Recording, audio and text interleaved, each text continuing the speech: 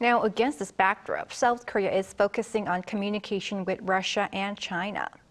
Our Bae Eun-ji explains complicated diplomacy surrounding the Korean peninsula.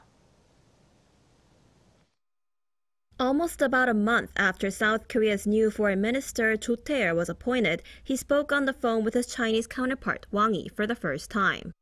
During the 15-minute call on Tuesday evening, Wang invited Cho to visit Beijing to develop bilateral relations further. In response, Cho agreed to schedule a visit via diplomatic channels at a time that's convenient for both sides. The two also agreed on the importance of managing supply chain stability and decided to seek new sources of development through deepening bilateral trade and investment. On North Korea, Cho urged Beijing to play a constructive role in bringing Pyongyang back to dialogue and expressed concerns about North Korean defectors being forcibly sent back to the north by China. Over the weekend, Russia's Deputy Minister of Foreign Affairs, Andrey Rudenko, visited Seoul. Rudenko met with high-level South Korean officials, including National Security Advisor Chang Ho-jin and First Vice Foreign Minister Kim Hong-kyun. Seoul expressed concerns about Russia's military cooperation with North Korea and called on the two to act responsibly.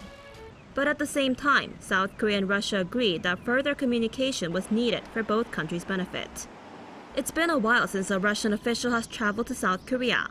In fact, it's the first time since President Yoon Suk-yeol took office in May 2022.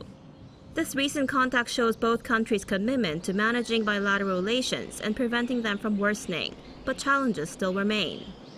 Watchers say the ongoing momentum for dialogue between the two countries is crucial ahead of Vladimir Putin's possible visit to North Korea after the Russian presidential election in March. 배은지, Arirang News.